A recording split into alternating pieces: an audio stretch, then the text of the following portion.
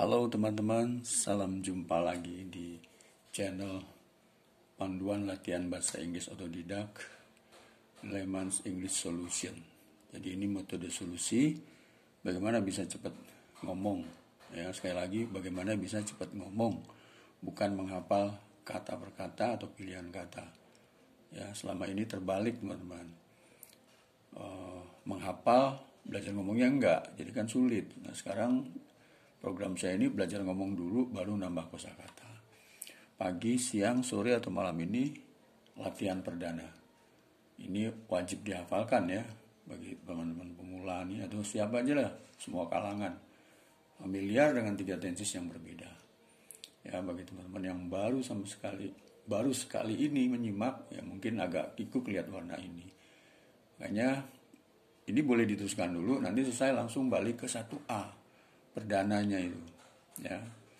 Perdana 1A, 2A, 3A, 4A, 5A yang ini ya. Tuh apa sih verbal apa sih. Jadi intinya saya membahas pedoman pedoman 5 komponen baku. Oke ya jadi ini yang dimaksud di apal tuh ini bacaan ini nanti dengan terjemahannya sekali. Ya bismillah kita bahas. Oke sekarang saya baca dulu nih. Pelan-pelan ya otomatis nih. Saya baca dulu ini. Ini reading dulu deh reading first ini cerita lah ceritanya. Oke. Okay? I visited branch office in Outop City yesterday. I visited branch office in Outop City yesterday. I visited branch office in Outop City yesterday. Saya mengunjungi kantor cabang di luar kota kemarin. From the main office, I estimated that the distance of it was 34 kilometer. So I left early or at the time was 7:45 p.m. From the main office, I estimated that the distance of it was 34 kilometers. So I left early or at the time was 7:45 p.m. From the main office, I estimated that the distance of it was 34 kilometer. So I left early or at the time was 7:45 p.m. Dari kantor pusat saya memperkirakan bahwa jarak itu jarak kantor cabang nih sekitar 34 km. So, I left early at the time was 7.45 p.m. Maka saya berangkat lebih awal, lebih awal nih pagian pada waktu itu sekitar jam 7.45 pagi. Ya. Beside that, I had planned to drop in gasoline pump to buy 10 liters gasoline. Beside that, I had a plan to drop in gas pump or in gasoline pump to buy 10 liters gasoline. Beside that, I had a plan to drop in gas pump to buy 10 liters gasoline. Di samping itu, saya punya rencana untuk berhenti di pom bensin untuk membeli 10 liters bensin gasolin ini bensin. Ini saya singkat. Ya. Yes I stop it around 4 minute. I yes I stop it around 4 minutes. After that I continue it to drive. Yes I stop it around 4 minutes. After that I continue it to drive Yes, I stop it around 4 minutes. After that, I continue to drive. Ya, saya berhenti sekitar 4 menit. Setelah itu, saya melanjutkan perjalanan lagi. Ini drive ini mobil ya, tapi saya ganti ride di sini sepeda motor misalnya. Ya, ya mobil lah di sini. Drive. Saya lagi. I stop it around 4 minutes. After that, I continue to drive. In short, I arrived in branch office at 8.15 minutes. First, I parked in front of branch office yard. After that, I continued to drive. In short, in short, I arrived in Brand's office at 8:15 minutes. First, I parked in front of Brand's office yard. in short, I arrived in Brand's office at 8:15 minutes. First, I parked in front of Brand's office yard. Ya. Singkatnya, saya tiba di kantor cabang jam 8.15. Pertama, saya parkir di depan kantor cabang halaman. Di halaman kantor cabang. Oke. Okay. Then, I directly came into office room of my manager in second floor. Then, I directly came into office room of my manager in second floor. Then I directly came into office room of my manager in second floor. Kemudian saya lang saya langsung masuk ke kantor manager, ruangan kantor manager di lantai dua. And it was surprised for me that he was still in there. And it was surprised me, sorry, and it was surprised for me that he was still in there. It was surprise for me that he was still in there. And it was surprise for me that he was still in there. Dan itu kejutan bagi saya bahwa dia masih ada di kantor, masih ada di situ. Masih di tempat gitu. I mean that he didn't leave out yet. I mean that he did not leave out yet. Jadi boleh dibaca didn't, boleh dibaca did not. I mean that he didn't leave out yet. I mean that he didn't leave out yet. Maksud saya bahwa dia belum berangkat keluar gitu, belum berangkat dari kantor. In short, we started a meeting at 9 a.m. At the time, we talked about the quality production and also talking about the new budget of 2023. In short, we started a meeting at 9 a.m. At the time, we talked about the quality production and also talking about the new budget of 2023. In short, we started a meeting at 9 a.m. At the time, we talked about the quality production and also talking about the new budget of 2023. Singkat singkat cerita, kami mulai buat bertemu meeting jam 9 pada waktu itu kami mulai jam 9 titik ya pada waktu itu kami membicarakan tentang produksi kualitas produksi dan juga berbicara tentang budget tahun baru 2023 ini Yes, at the time the meeting needed one hour more. Yes, at the time the meeting needed one hour more. Yes, at the time the meeting needed one hour more. Ya, pada waktu itu meeting butuh waktu satu jam lebih. Of course, both of the result of meeting was better. Of course, both of the result of meeting was better. Of course, both of the result of meeting was better. Tentu saja, kedua pertemuan hasil pertemuan itu, hasil meeting tersebut lebih baik. Finally, I permitted to my manager to come home back to the main office. Finally, I permitted to manager to come home back to the main office. Akhirnya, saya mohon pamit pada manajer untuk pulang ke kembali ke kantor pusat. Ya, nah ini kata keterangan nih, keterangan milik present past tense nanti saya kira bahas dulu ini. Bukan dibahas apa namanya bacaannya dulu yang tanpa terjemahan. I visited branch office in out of city yesterday. From the main office, I estimated that the distance of it was 34 kilometer. So, I left early or at the time was 7:45 a.m. Beside that, I had a plane to drop in gas pump to buy 10 liters gasoline. Yes, I stopped it around 4 minutes. After that, I continued to drive. In short, I arrived in branch office at, at 8.15 minutes.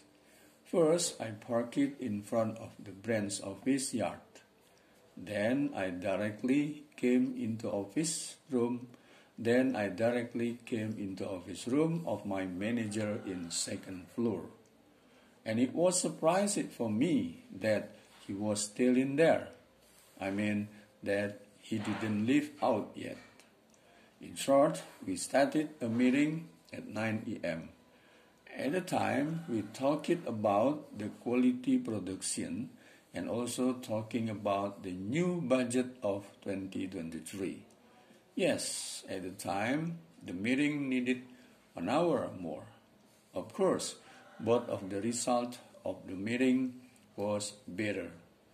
Finally, I permitted to manager to come home back to the main office. Itu ya teman-teman. Jadi lengkap udah yang terjemahnya sudah, tolong dihafal nih teman-teman. Yang tadi bacaan tanpa terjemahan itu diulang-ulang. Itu melatih pronunciation. Ya, nah di sini supaya akrab dengan pasten ini lambang ini. Bukan lambang maksud singkatan ini. Ini semua disebut kalimat narasi pernyataan nih, kalimat positif maksudnya nih. Jadi bahasa Inggris harus kenal ini kalimat positif. Kan nanti ada kalimat negatif, interrogatif. Ini narasi pernyataan begini. Ya bacaan lah reading tuh. Nah, sekarang kita bahas tensisnya nih ya. I visited branch office in out city yesterday. Verb 2. Ini regular. Jadi predikat pertama nih verb 2 nih. Nanti kalau ada kata kerja lagi, nanti aja dulu. Jadi selalu verb 2 di sini. Brand office. I visited brand office in out city yesterday from the main office A. Nah, mulai lagi koma tuh, verb 2 lagi. I estimated that the distance of it was. Nah, ini klausa nih teman dari sini sampai sini klausa namanya tuh. Udah canggih lah ya, nggak apa-apa. Habis kalau nggak gitu kaku nanti. Tapi nggak usah dibahas. Nanti teman ngerti sendiri. Was dan 3 km. So, mau mulai lagi tuh. Habis koma mulai lagi verb 2. I left tuh. Ini regular, ini regular, ini irregular. Begini bahasa Inggris teman-teman. I left early at the time was klausa lagi. Beside that tuh mulai lagi. I had a to drop. Nah kalau datang dua kali kata kerja ini, ini jangan drop it. Ini verb satu nih teman-teman. Nggak perlu dikuning soalnya ini bukan predikat. Nanti kalau dikuningin dikira predikat. I had tuh. Jadi kan kemarin tuh saya kunjungan ke kantor cabang di luar kota. Begitu kemarin. Gitu dari kantor pusat saya kira-kira saya perkirakan jaraknya 34 km. So saya berangkat lebih awal lebih pagi. Nah waktu itu sekitar jam 7.45. Beside that, di samping itu I had plan, saya punya rencana untuk mampir di pom bensin. To buy 10 liters gasoline. Nah ini mungkin pakai mobil lah ini. Itu yes, I stop it around 4 minutes. Saya berhenti di pom bensin 4 menit.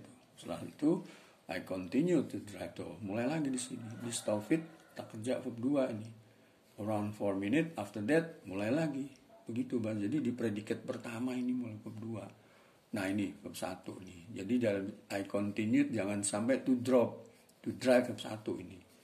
Gitu. Nanti itu lagi boleh. I continue to drive to no to boleh. Titik mulai lagi. In short saya tiba di kantor cabang jam segini. Saya parkir di depan halaman kantor tuh. I park it tuh. I park it in front tuh. Saya memarkirkan mobil nih.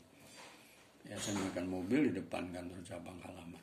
Dan then I directly came into office. Langsung saya masuk ke kantor ruangan manager di lantai dua tuh. And it was surprise for me. Wah, kejutan juga nih bagi saya nih. Dia masih ada di kantor ternyata. I mean that he didn't live out yet belum keluar dari kantor itu teman-teman jadi dengan singkat cerita ini kan cerita nih lalu mulai mulai meeting jam 9 tuh. Nah pada waktu itu pada waktu itu ya kemarin atau waktu itu ya waktu itu kan bisa kemarin bisa minggu lalu bisa bulan lalu. Nah ini pasti makanya ini dua semua tuh. Pada waktu kemarin atau waktu minggu lalu atau waktu itu atau tadi pagi tuh ini dua kami bicarakan tentang kualitas produksi dan juga bicarakan tentang budget 2023. Ya, pada waktu itu meeting membutuhkan satu jam lebih deh. Pastinya kedua hasil meeting ini benar-benar lebih baik. Akhirnya saya pamit manajer untuk pulang ke kantor pusat. Itu teman-teman. Ya inilah bahasa Inggris. Nah gitu ya. Jadi ini narasi positif. Positif ya coba dihafalkan tadi baca lagi tuh teman-teman. I visited branch office in out of city yesterday. Waktu saya baca teman-teman udah ngerti tuh terjemahannya. Saya mengunjungi kantor cabang di luar kota kemarin. From the main office, I estimated, saya memperkirakan. Gitu teman-teman. Nah udah ya, jadi ini diulang lagi tuh bacanya udah cukup ya. Diulang lagi juga boleh. I visited branch office in out of city yesterday. From the main office, I estimated that the distance of it was 34 kilometer. So I left early at the early or at the time was 7:45 a.m. So udah ya, jadi nanti nggak cukup ini. Jadi tolong diulang-ulang lagi. Nah, ini sekarang saya menjelaskan ini. Inilah keterangan waktu milik pasten nih. Ini kalau untuk TOEFL nih harus ingat tuh ada last night tadi malam, last week minggu lalu, last month bulan lalu. Nggak ada di sini last day ya last year tahun lalu, last August Agustus lalu, last summer maksudnya gitu, last summer in the past masa lalu, last winter musim dingin yang lalu, one minute ago tuh satu menit yang lalu, years ago bertahun-tahun yang lalu, one day ago satu hari yang lalu, a month ago maksudnya gitu sebulan yang lalu, a year ago satu tahun yang lalu, long time ago. Yang lama waktu yang lalu gitu, once upon time. Dahulu kala ini bacanya once upon time. Ada juga yang baca once upon time. Boleh lah. Jangan ditanya British pakai ambil nggak perlu. Once upon time atau once upon time. Several days ago three hours ago last holiday liburan yang lalu. Kemarin kemarin pagi kemarin sur, kemarin siang kemarin sore nih 10 menit yang lalu itu posisinya ini keterangan nih bisa di akhir begini bisa di depan. Yesterday I bought a book in the shop atau I bought a book in the shop yesterday. Ini formulanya jangan dianggap remeh teman-teman. Kalau dulu di sekolah kan nyebelin nih gini nih ya mohon maaf ya kan apa nih gini-gini padahal ini yang yang membimbing kita bisa ngomong ya ini teman-teman saya bisa ngomong bahasa Inggris ya karena ini formula namanya ini gitu dari sini dulu memang ini kalimat positif tuh pernyataan namanya I bought a book in the shop yesterday. Saya membeli buku di kantor kemarin. Negatif. I didn't buy a book in the shop yesterday. Saya tidak membeli buku di toko kemarin.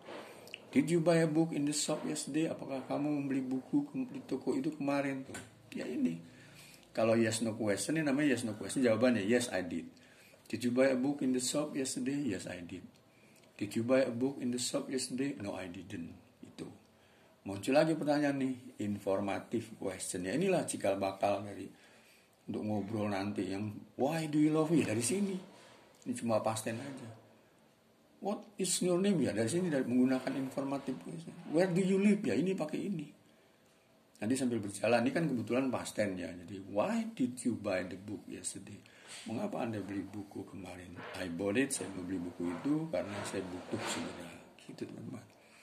Mohon maaf pada suara ya gitu jadi ini jangan dianggap remeh ini verbal ya teman-teman ini verbal semua ini ini keterangan waktu namanya bisa di akhir bisa di awal ya setidaknya bisa di sini gitu.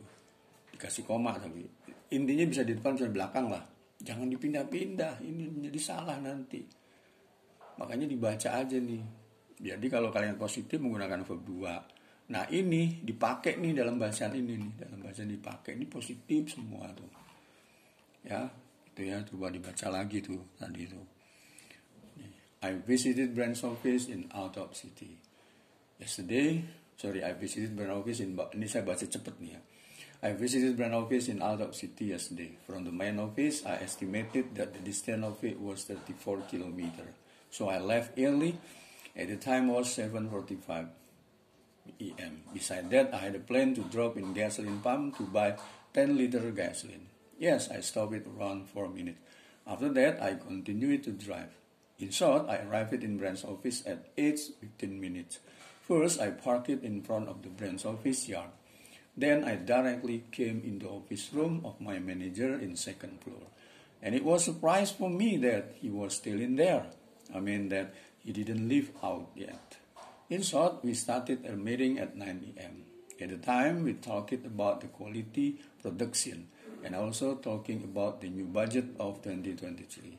Yes, at the time, the meeting needed one hour more. Of course, both of the result of meeting was better. Finally, I permitted to manager to come home back to the main office. Itu cukup ya teman-teman bacaannya tuh. Kurang lebihnya saya mohon maaf teman-teman. Jadi ya inilah mulai dari pas simple dulu ya ini. Itu. Jadi tadi bacanya yang pertama tuh pelan-pelan ya kan diikuti dengerin lagi dengerin lagi kalau udah kayak cepet begini waktu saya baca tadi tuh terjemahnya udah inget gitu loh.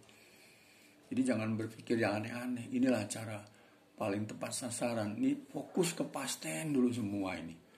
Ya tadi udah saya jelaskan ya verb 2 hanya di predikat pertama ini.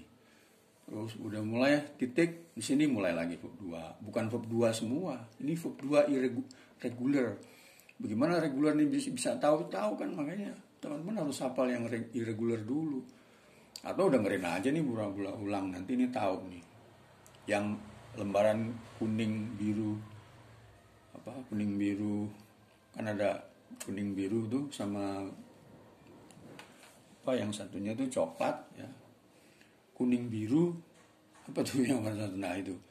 Itu dilihatnya di situ dipegang itu yang irregularnya maksudnya. Jadi harus sudah hafal mau nggak mau harus hafal ini. Nggak ada cara lain harus sering membaca sering mendengar.